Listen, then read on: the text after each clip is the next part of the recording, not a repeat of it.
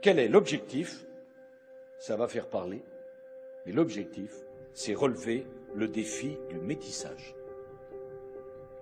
Défi du métissage que nous adresse le XXIe siècle. Ce n'est pas un choix, c'est une obligation, c'est un impératif.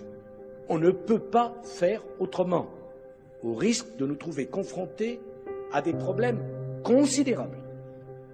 Nous devons changer, alors nous allons changer.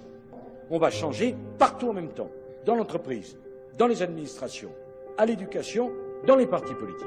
Et on va se mettre des obligations de résultat. Si ce volontarisme républicain ne fonctionnait pas, il faudra alors que la République passe à des Methoden plus contraignantes. Und der Grund, warum die EU das nicht will, ist der, weil es, und das wissen ja die wenigsten, deshalb will ich es heute sagen, äh, es gibt seit 2010 einen Kommissar für Migration. Der heißt Aframopoulos, ist ein Grieche, und der kümmert sich darum, dass die EU in den nächsten 20 Jahren 70 Millionen Menschen aufnimmt. Das sind im Jahr 3,5 Millionen. Und ich habe das Interview hier von diesem Herrn und der sagt, die EU muss in den nächsten 20 Jahren 70 Millionen Menschen aufnehmen. Alles Migranten.